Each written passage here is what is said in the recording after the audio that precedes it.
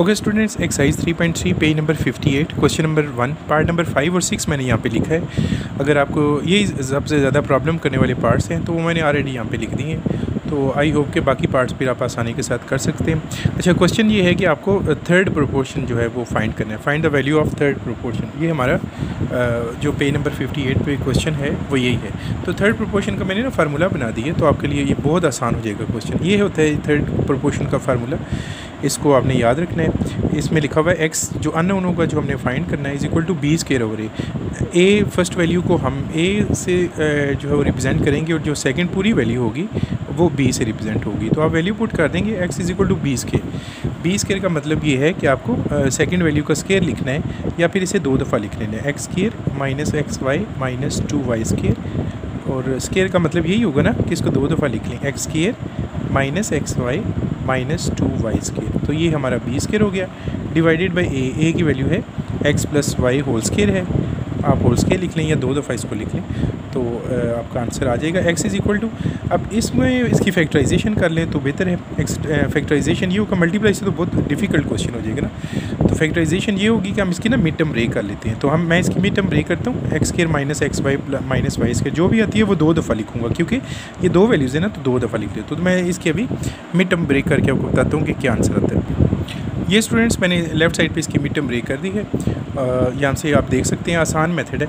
अब ये चूँकि दो दफ़ा था तो दो दफ़ा मैंने मिड टर्म ब्रेक लिखी है। X plus Y X minus two Y और फिर दोबारा X plus Y X minus two Y क्योंकि मेरे पास दो वैल्यूज़ थी। अब इनको कैंसिल कर लेते हैं, जो कैंसिलेशन हो सकती है। एक्स प्लस वाई एक एक्स प्लस वाई से कैंसिल ये एक्स प्लस वाई से कैंसिल और ये दो वैल्यूज़ रह जाएँगी एक्स माइनस टू वाई और एक्स माइनस टू वाई जो कि बन जाएगा एक्स माइनस टू वाई का होल स्केयर तो ये स्टूडेंट्स हमारे पार्ट नंबर फाइव का आंसर आ गया। अब हम पार्ट नंबर जो सिक्स है, उसको उसको भी इसी मेथड से हम फाइंड करते हैं।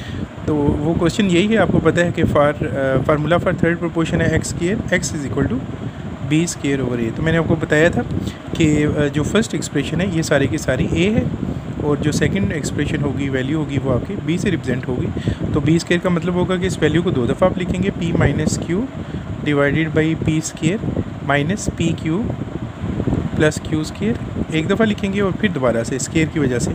आप दोबारा दो दफ़ा लिखेंगे P minus Q divided by P square minus P Q plus Q square divided by whole क्योंकि ये भी तो डिवाइड है ना, वो वाला sign A A first value है that is P square minus Q square divided by P Q plus Q Q तो ये मैंने ए से इसको डिवाइड कर दिया अब नेक्स्ट टाइम में आपको क्या करना होगा कि ये वाली वैल्यू आप ना न्यूमरेटर में ले जाएँ। तो न्यूमरेटर में देखते हैं कि हमारे पास इसकी क्या सिचुएशन बनती है?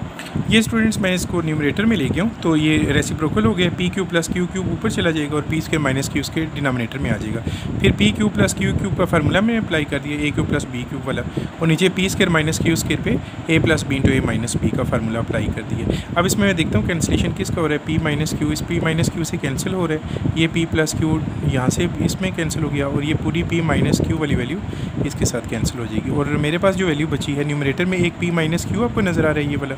और डिनोमिनेटर में आपको नज़र आ रहा है P square minus P Q plus Q square तो ये इसका आंसर आ गया स्टूडेंट्स इसको भी नोट कर लें।